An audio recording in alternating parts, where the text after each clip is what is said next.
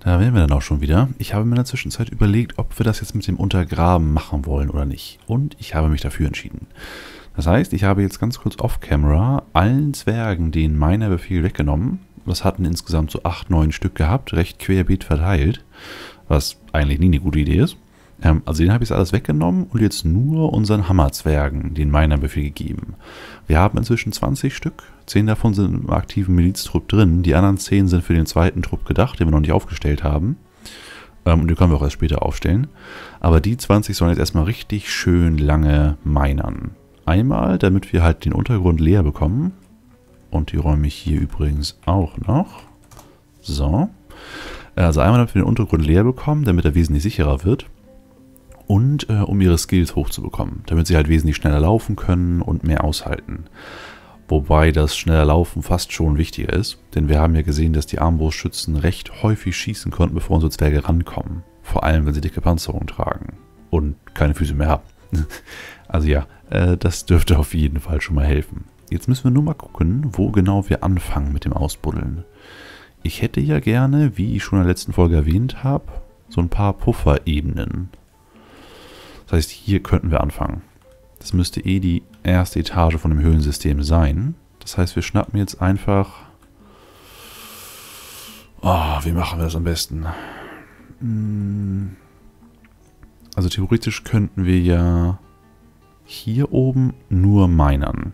Die Channel-Befehle kommen ja erst später. Äh, wir könnten auch gleich mit Channel anfangen, aber sobald wir den Channel-Befehl machen, müssen wir halt wirklich gucken, wo wir was machen. Denn teilweise kommen die Zwerge sonst nicht mehr an die Stellen rein oder sie lösen sogar Einbrüche aus. Also fangen wir mal ganz klein an. Ich mache jetzt noch mit der Maus, weil es ein wenig praktischer ist, äh, so kleinere Sachen damit zu markieren. Und nehme jetzt einfach so eine Fitzelchen wie hier. Und die machen wir dann nach und nach weg, gucken wie das läuft und dann können wir später uns an die größeren Sachen ranwagen. Jedes kleine Fitzelchen, das ich jetzt hier wegmache, ich glaube, da kommen sie schon mal gar nicht ran. Nö, kommen sie nicht. ja, das meine ich mit kompliziert. Wir müssen also jetzt das wegminern. Dann müssen wir da Bodenplatten setzen, müssen das hier weghauen, das dann wegchanneln und dann die Bodenplatten hier wieder abbauen. Das wird tierisch viel Arbeit werden. Aber ja, was muss, das muss. Theoretisch könnten wir auch hier das wegminern, aber dann fällt die Platte runter und erschlägt wahrscheinlich ein Miner. Das wäre ja nicht so gut. Aber schön, so äh, werde ich mich ein wenig daran üben können, ordentlich Boden auszuheben und die Channel-Befehle auszuführen und ihr könnt dann an meinen Fehlern, wenn sie dann auftreten, lernen. Also ja, okay. Das da können wir auch nochmal mitnehmen, damit wir so einigermaßen äh, eckige Flächen haben. Den ganzen Bereich hier auch noch was den netten Nebeneffekt hat, dass wir jede Menge Gold bekommen. Das wir nicht so wirklich brauchen, aber wir sind halt Zwerge und da muss man Gold haben. So, das soll erstmal reichen. Unsere neu ernannten Miner werden echt tierisch langsam sein am Anfang. Denn je höher der Skill ist, desto schneller minern sie ja auch und desto mehr Ressourcen bekommt man. Oh, ein Mandat. So, du Crossbows, zwei Stück. Ja, ja, ja, du unter den Crossbows. Äh, Bone Crota. Was ich gerade sagen wollte, bevor der böse Georgon wieder was losgeschickt hat. Da kommt ein Gegner. Okay. Ähm, also, es dauert länger, wenn man den Skill besonders niedrig hat und man bekommt nicht immer einen Stein bei raus. Oder ein Erz. Das heißt, wenn man wirklich wichtige Sachen abbaut, die man unbedingt braucht. Er ist sogar ein richtig garstiger Gegner. Hm, jetzt ist er weg. Äh, das heißt, wenn man irgendwelche Steine abbauen will, die man dringend braucht, wie zum Beispiel Eisen oder Kohle, je nachdem, welche Ressource halt gerade sehr wichtig ist, sollte man das eigentlich nur von einem Meister Miner abbauen lassen. Weil sonst hat man das Pech und der Block ist weg und man kriegt keine Ressource auf dem Boden. Was natürlich ziemlich ärgerlich wäre. Aber ja, der Gegner hier eben gerade, das sah aus wie ein Troglodyt. Das sind so recht einfache humanoide Gegner. Aber die haben doch einem unserer Arbeiter gut einverpasst und was zur Hölle macht der Miner da auf dem Käfig? Ruht er sich aus? Ha, achso, denn das aufgestellt. Ah, okay. Kurios, kurios. Er hat anscheinend Ausrüstung dabei gehabt. Ein Seidenschuh. mit Troglodytenblut drauf. Gehört Tammy. Oh, Tammy hat eine verpatzt bekommen. Das war gar nicht gut. Und zwar hat sie so stark eine verpasst bekommen, dass ihr Seidenschuh weggeflogen ist. Komisch. Na gut. Aber soweit sieht das gar nicht mal so schlecht aus. Also es bleiben kaum Ressourcen über, aber das ist nicht ganz so wichtig. Wenn wir wirklich das ganze Höhlensystem Nummer 1 hier abbauen, werden wir eh so viel Gold haben, dass wir nichts damit anfangen können. Und ja, Höhlensystem Nummer 1. Es gibt noch ein Höhlensystem Nummer 2 und ein Höhlensystem Nummer 3, die dann jeweils gefährlicher werden. Da will ich auch nicht unbedingt schon reinbrechen. Das heißt, wir meinen jetzt wirklich nur so viel, wie sein muss. Am besten jetzt erstmal nur ein, zwei Etagen. Das wird eh ewig lange dauern. Bis das alles ordentlich ausgemeinert ist. Mehrere Dutzend Folgen mindestens. Da werde ich halt immer zwischendurch mal einen Befehl geben. Zwischendurch gucken, wie ich das am besten anstelle. Weil es ist teilweise recht kompliziert mit den Brücken dahin bauen und das dann einzeln abmontieren und so weiter. Aber das kriegen wir schon hin. So, die Händler wollen gehen. Dürfen sie denn gehen? Können sie denn gehen? Ja, ist alles frei. Sehr schön. Die brauchst du bitte immer noch. Und haben wir zufällig gerade noch einen Alarm am Laufen? Nö, haben wir nicht. Das heißt, jetzt müsste die Straße endlich weitergebaut werden können. Vorher lagen da ja immer Gegenstände im Weg. Und das macht hoffentlich jemand ganz schnell, weil sonst wachsen die Pilze da und sind die Pilze im Weg. Und das sieht doch gut aus. Unser Architekt ist am Werkeln. Sehr schön. Äh, Asa Yaljur hat aufgehört zu trinken. Er wurde von einem Troglodyten überrascht. Wo war das? Das war hier unten. Ah, da. Die nehmen hier langsam ein wenig Überhand. Wobei ich hier keine anderen so sehe. Ich gucke mal ganz kurz auf die Einheitenliste. Hm, andere. Troglodyt. Ach doch. Sieben Stück sind schon. Zoom mal hin. Oh, die sind aber alle hier unten. Und was zur Hölle? Jetzt baue ich hier den Damm und dann klappt das mit dem Abfließen? Das ist... Na gut, also die Troglodyten sind alle hier unten. Bewegen die sich zufällig raus? Nö, die bewegen sich rein. Das heißt, die können dann von hier hochlaufen, an dem Spinnenmassaker-Denkmal hier vorbei. Und wie kommen sie dann zu unseren Zwergen?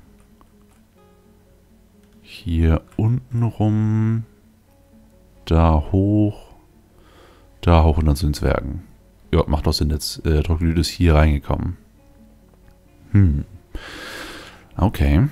Eigentlich müssten die Jungs den auch so umhauen können. Die dürften ja teilweise ihre Waffen noch dabei haben.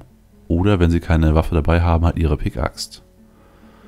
Und das tut auch ganz schön weh, wenn man in einer kräftigen Hand sowas äh, reingezwiebelt bekommt. Aber vom Verhalten her sind sie jetzt halt keine Kämpfer. Das heißt, sie dürfen ausweichend reagieren. Ich gucke mal jetzt, was die Wunden angeht. Er ist schon leicht verletzt. Er hat nur Durst und wurde beim Trinken gestört. Hast du denn wenigstens deine Rüstung noch an? Nein. Oh, das ist gar nicht gut. Nicht, dass unser unaussprechlicher Nummer 3 jetzt ausstirbt und nochmal reinkarniert werden muss. Hm. Ich könnte jetzt Miliz aktivieren. Aber dann müssten sie alle an ihm vorbeilaufen, ihre Rüstung anziehen und hier runterkommen. Ich glaube, ich warte einfach mal ganz kurz, was sie so machen. Und er ist tot. Ja, so einfach geht das. Sage ich doch, die Jungs haben inzwischen richtig was drauf. Gold wird abtransportiert, das Blut da hoffentlich auch. Und die Knochen. Ist sonst ein wenig irritierend am Arbeitsplatz. Ist man so fleißig am Gold kloppen und überall liegen Knochen und Gedärme rum. Muss ja nicht sein. So, also an die kommen wir nicht ran.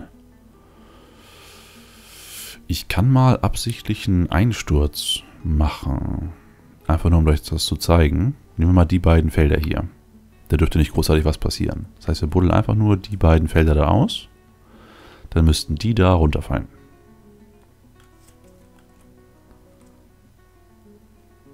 Und ja, die können einen Zwerg treffen, aber wenn das nur aus einem Feld Höhe ist, dann geht das teilweise sogar. Also gucken wir. Düm, düm, düm, düm. Düm, düm, düm. Und... Nichts passiert. Was zur Hölle? Ach so. Ah, okay, das kannst du erklären.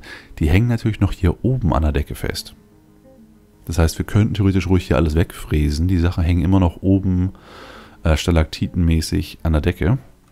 Das wäre also okay. Sieht aber trotzdem doof aus. Und ihr wisst ja, wie fixiert ich auf Aussehen bin. Hm. Also machen wir das echt so, wie ich es geplant habe. Wir drücken jetzt B, Shift C, Floor und bauen jetzt da äh, ruhig aus Granit. Also normalerweise bauen wir immer aus Granitblöcken, weil sie schneller zu transportieren sind. Aber hier liegen überall Granitblöcke rum. Also nicht richtige Blöcke, sondern die Granitsteine, Rohsteine. Und die sind sehr nah dran. Das sieht man hier in der Distance 1. Das heißt, es wird jetzt schneller sein, die Rohsteine zu benutzen, als wenn sie jetzt hochlaufen müssten, die Granitblöcke holen und dann wieder hier runter. Wir müssen nur darauf achten, dass immer genug Blöcke in der Nähe rumliegen. Also Rohsteine. Nee. So, da einmal hin. Und dann müssen wir warten. Und dann da ein hin, da ein hin, da ein hin. Dann können sie die hier alle abbauen. Dann müssen wir da nochmal eine Brücke bauen. Danach müssen wir dann die Felder channeln, und zwar der Reihe nach. Also hier hinten die beiden channeln, dann den channeln, dann den channeln, die Platte wegnehmen, hier channeln, da channeln, da channeln, da channeln, da channeln, die Platten wegnehmen und so weiter. Das ist tierisch viel Friemelarbeit. Also ich denke mal, später werde ich das entweder off-camera machen oder irgendwann in einer Horrorfolge eine Folge lang nur Micromanagement machen. Muss ich mal gucken. Aber jetzt die ersten Male ist es vielleicht ganz interessant zu sehen für diejenigen, die sich da noch nicht so rangewagt haben. Und schon wieder ein Mandat. Mann. Zwei, drei Crossbows diesmal. Ha, naja gut, können wir unsere neuen Troglodyten-Knochen wenigstens gut einsetzen. Wir hätten gerne Bone Crossbow drei Stück. So. Oh, und die Jungs sind fertig. Das geht ja gar nicht. Ähm, meinert bitte mal den Bereich hier aus. So. Und dann könnte ich hier gleich weitermachen.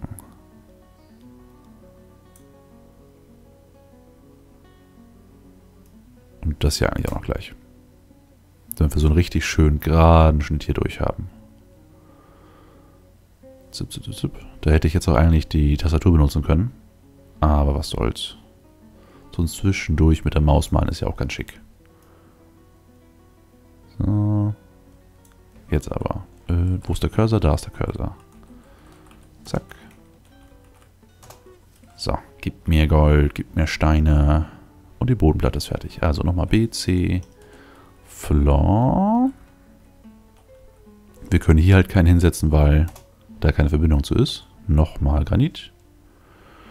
Und wo wir gerade dabei sind, können wir hier unten das Ganze auch schon einmal machen. Nochmal Granit. So. Aber ja, doch, komm gut voran. Auch wenn das Teil hier riesengroß ist. Weswegen ich ganz froh bin, dass ich die Karte nicht so groß gemacht habe am Anfang. Also zum einen hätten wir dann eventuell inzwischen ein Problem mit dem Leck bekommen können. Und zum anderen ist es halt auch sehr viel Arbeit, diese große Fläche dann auch in Anführungszeichen zu bestellen. Also so zu terraformen, dass es für die Zwerge passt. So, da können schon die ersten hin, das ist sehr gut. Ist das dann Pilz? Ja, ist ein Pilz, da wird er nicht draufsteigen können. Also brauchen wir jetzt noch eine Bodenplatte. Da, aus Granit. So. Sehr schön. Die fräsen sich dadurch, der Rest ist hier am Laufen. Unsere Granitvorräte füllen sich dadurch auch langsam. Ich hoffe mal, dass die Hauler nicht zu schnell die Granite hier abtransportieren, sonst haben wir halt kein Baumaterial mehr für die Bodenplatten. Aber im Notfall können wir einen kleinen Mini-Stockpile hier anlegen. Was gar nicht mal so eine schlechte Idee ist. Also jetzt nicht von den Granitblöcken hier, sondern von den richtigen Granitblöcken. Also drücken wir P. Wir hätten gerne... Äh, wo ist es? Bars und Blocks. Und da bis, sagen wir mal, hier so. Mit Q rauf. S. Und wir hätten gerne nix. Und von dem nix hätten wir dann gerne... Hm, Schalk? Nein. Granit da oben. Zack. So. Das heißt, unsere 61 Arbeitslosen müssten jetzt oben die Granitblöcke sich schnappen und dann da runterbringen. Und was kommt da jetzt gerade? Oh, ein Teil des Höhlensystems ist eingestürzt. Wo? Ich sehe... Ah, da.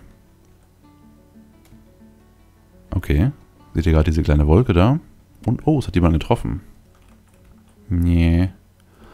Wunden. Ein paar Wunden hat er bekommen und er ist ohnmächtig. Oh, das ist unser Meister Engraver. Was zur Hölle macht der hier unten? Der hat keinen meiner Befehl bekommen von mir. Garantiert nicht. Aber er steht schon wieder auf. Ja, wackerer Bursche. So ist es echt. Also, das Ding ist erst gerade eingestürzt. Warum auch immer. Das Ding der Boss bitte neu. Ah, weil die keine Bodenplatten hatten. Das kann sein. Die hier könnten dann auch einstürzen. Ah ne, die können nicht einstürzen, weil hier drunter ja noch Wände sind. Boah, da gibt es so viel zu beachten.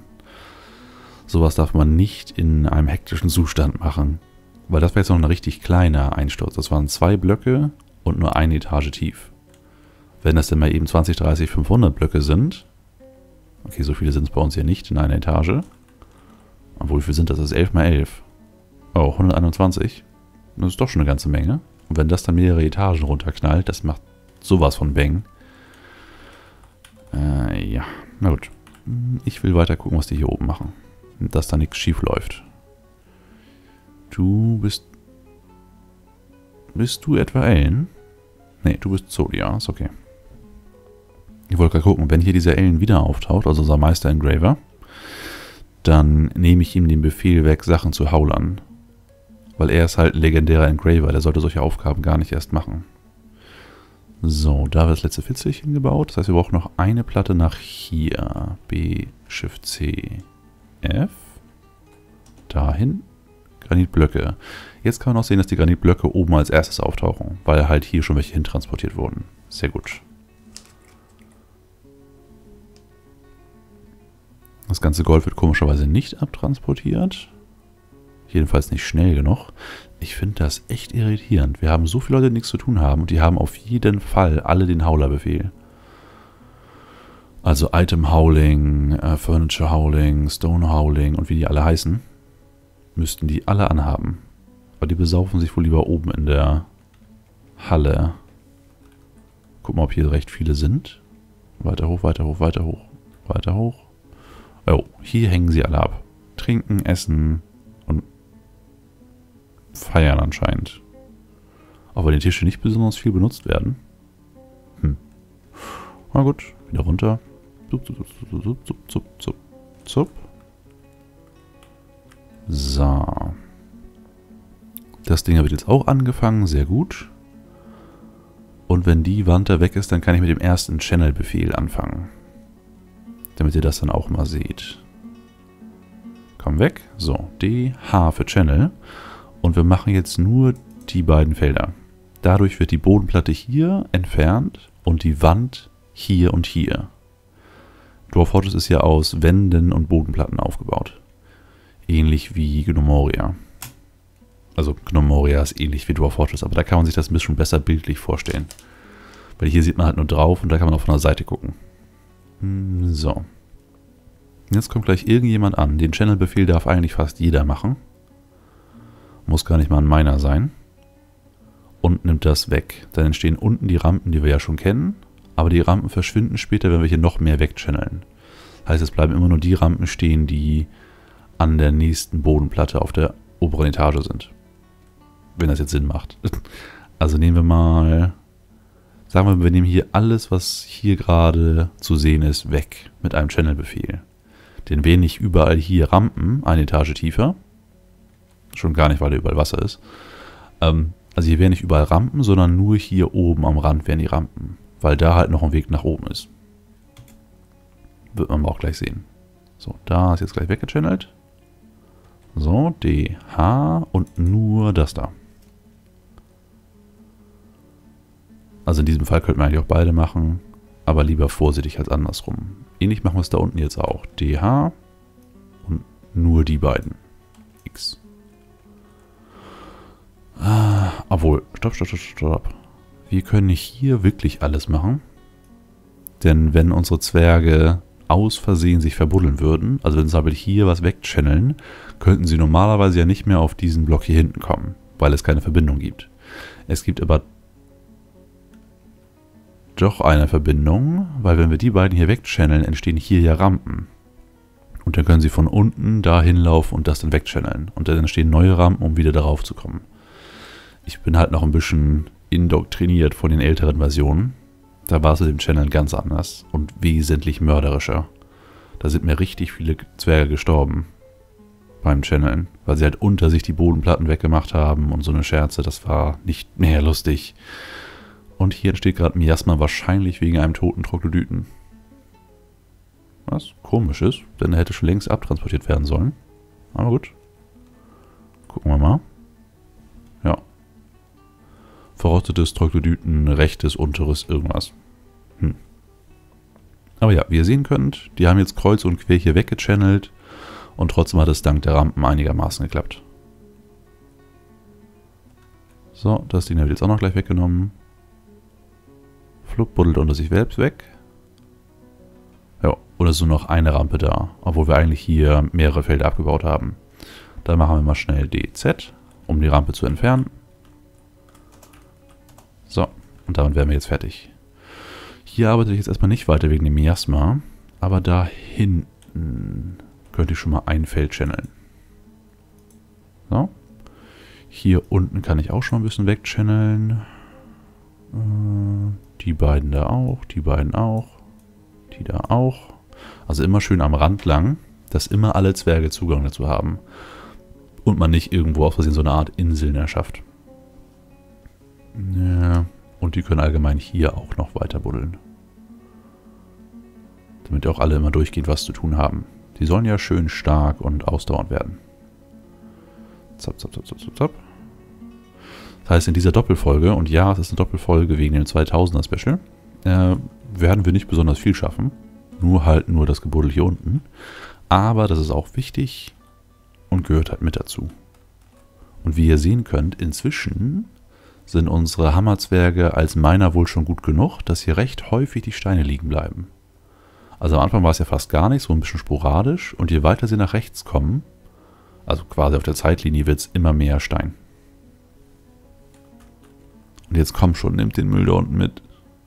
Irgendjemand, bitte, hör auf zu trinken und komm hier runter und nimm das weg.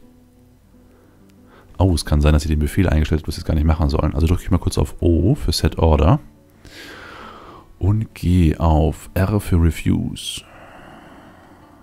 Zwerge sammeln Refuse, Zwerge sammeln Refuse von draußen. Sie sammeln sogar das von Ungeziefer auf. Und sie sammeln alles äh, an Körperteilen mit auf. Nee, das dürfte es eigentlich nicht sein. Hm. Ja, das ist komisch. Vielleicht ist doch einfach der Gang hier zu sehr benutzt. Und deswegen hat keiner Lust runterzukommen, aber es ist für mich auch nicht wirklich nachvollziehbar. Die müssten trotzdem irgendwann kommen, es dauert nur länger. Also es sieht für mich eigentlich echt wie so ein Borrow-Befehl aus. Dass sie halt nur in dem einen Borrow bleiben und deswegen nicht hier runterkommen. Die 66 Stück. Ah, oder wir haben nicht genug Wheelbarrows zum Beispiel für die Steine zum Transportieren. Aber es dürfte sie dann trotzdem nicht davon abhalten, die Leichenteile einzusammeln. Vielleicht ist unser Friedhof voll. Ich scroll mal ganz nach oben. Was ich aber nicht glauben kann. Nö. Das vergammelt ja immer nach und nach. Die Knochen bleiben dann über und die Knochen werden in den Stockpile transportiert. Das dürfte es also auch nicht sein. Hier sind ein paar Leute am Flitzen. Ein Großteil hockt hier. Paar unserer Zwerge trainieren sogar zwischendurch. Und sind irgendwo welche Pilze im Weg? Mal kurz zwischendurch testen. Hier sind zwar welche, aber nichts Wichtiges. Trotzdem mache ich mal ganz kurz ein äh, Chop Trees. Fange hier an und mache das über alle Etagen, damit unsere Holzfälle auch was zu tun haben, während die Miner da alle am Austoben sind. So, das waren nicht besonders viele. Eigentlich fast gar keine. Aber okay. Oh, und die Stockpiles hier sind auch fast fertig. Der muss sich nochmal überlegen, was jetzt genau wo überhaupt rein soll.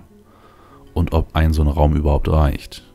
Weil wenn wir jetzt einen Stockpile machen würden, nur für Essen und nur für Trinken, ich glaube, der wird trotzdem relativ schnell voll werden. Momentan haben wir, ja, obwohl wir haben hier nur so einen kleinen. Das könnte eigentlich passen.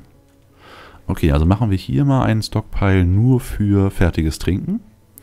Und hier einen Stockpile nur für fertiges Essen. Also nicht Fleisch, Fisch, Pilze und dergleichen, sondern wirklich nur verkochtes Essen. PF. So, von da bis da. Und einmal von da bis da. Mit Q drauf. Mit D alles entfernen.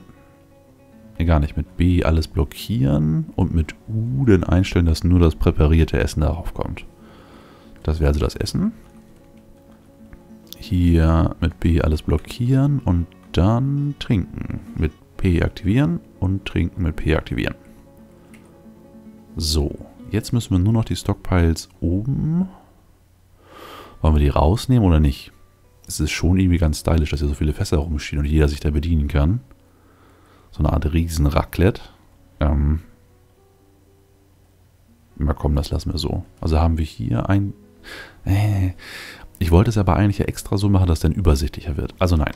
Jetzt wird rigoros der Alkohol und das Essen aus der Halle hier rausgeschliffen damit wir hier unten eine gute Übersicht haben. Das heißt, wenn ich irgendwann mal gucken will, wie unsere Nahrungsreserven aussehen und ich nicht auf den Set-Stockpile hier gucken will, dann gehe ich hier runter und gucke links, trinken, rechts essen und je nachdem wie voll es ist, weiß ich, was produziert werden muss und was nicht. Ja, da werden jetzt die Zwerge drunter leiden und meckern, aber meckern macht ihnen ja bestimmt auch Spaß. So. Gucken wir wieder runter. In dieser Folge haben wir auch richtig schön das Spiel weiterlaufen lassen. Das heißt, die ganzen Befehle, die ich in den letzten Folgen, wo ich so viel geredet habe, während das Spiel pausiert war, nicht abgearbeitet werden konnten, die konnten jetzt alle schön bearbeitet werden. Die Knochen liegen da immer noch rum. Aber gut, ich mache jetzt wieder DH. Da wieder ein Feld channeln, weil ich will hier nicht alle auf einmal channeln. Weil äh, da könnte man zwar nicht rankommen, jedenfalls nicht ordentlich. Ja, da bin ich hier ein bisschen vorsichtiger. Das Feld kann auf jeden Fall noch weg. Die beiden können weg. Die beiden. Äh, da die drei. Und hier die Reihe. Da die Reihe auch. Warum will er das Feld nicht haben? Ah, okay. So. Da kann das auch noch weg. Und da müssen wir minern und nicht channeln. Und hier müssen wir auch alles durchminern. So. Und das hier kann auch noch alles weg. Schupp, schupp, schupp, schupp. Und so nimmt das langsam Gestalt an. Also ist zwar jetzt nur der äh, nahe Eingangsbereich, aber sobald wir diese ganze Etage hier abgerissen haben und wir nur noch das hier sehen, haben wir schon wesentlich besseren Überblick. Das heißt, wir wissen, wenn die Gegner rankommen, wir wissen, wo sie langlaufen müssen und so weiter. Und das Miasma breitet sich hier überall aus. Das ist sowieso eine recht eklige Ecke mit den ganzen Goblin-Leichen hier unten irgendwo. Genau hier. Die sind ja immer noch da am Verwesen. Da habe ich jetzt nicht so dran gedacht damals. Ich dachte, die verschwinden irgendwann. Aber Pustekuchen. Ich meine, das Blut von der Schlacht gegen der Spinne ist ja auch noch irgendwo hier. Und das ist nun jetzt echt schon eine ganze Ecke her. Also gefühlt schon mehrere Monate. Na, wo ist die Spinne gewesen? Such, such, such. Hier, genau. Ihre Spinnennetze sind noch da und das Blut unserer Zwerge klebt immer noch an der Wand. Ja, Hammerzwerg sowie noch. Ich scroll das mal raus. Orange Pedal hatte also noch keinen Namen damals. Und ein Grunt. Pig Souls. Oh, die Namen wurden halt geändert, weil ich das Namensystem halt ein bisschen anders generiert habe. Das heißt, man sieht deren Titel nur nicht deren eigentlichen Namen. Aber ja, das Blut von den zwei Jungs hängt ja immer noch an der Wand. Keiner hat sauber gemacht. Aber es ist ja nur das Höhlensystem. Trotzdem würde ich ganz gerne einen Befehl haben können, ein Zwerg bitte genau dahin gehen und den und den Befehl ausführen. Also meinetwegen jetzt Gerugon, hör auf, was mit deinen Armbrüsten zu machen und geh jetzt hier hin und hau du diesen einen Baum um. Und das Ganze irgendwie in einem Interface, das leicht zu konfigurieren wäre. Das wäre echt schön. Also wahrscheinlich auch das ganze Spiel ein bisschen zunichte machen. Hm? So, die Jungs sind weiter am Minern. Gechannelt wurde da hinten auch schon. Machen wir gleich einen neuen Befehl da. Da.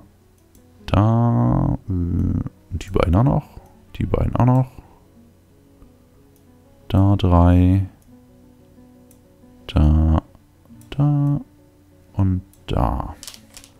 Ja, es wird langsam immer eckiger. Und je eckiger es wird, desto längere Flächen können wir immer nach und nach mit einem Mal channeln lassen. So, das soll jetzt aber erstmal reichen. Mit dem ganzen Rumgechannel und Rumgemeiner. Ich bin ganz zufrieden mit dem, was wir bisher geschafft haben. Es wird auf jeden Fall der Optik helfen. Und äh, wir müssen gucken, wie stabil das Ganze da ist. Also sobald es anfängt, von hier oben irgendwas runter zu brechen, dann höre ich auf jeden Fall auf. Aber da haben wir eins, zwei, na, zwei Etagen zwischen. Das müsste schon hinhauen. Also, stopp. Und wir sehen uns dann gleich wieder.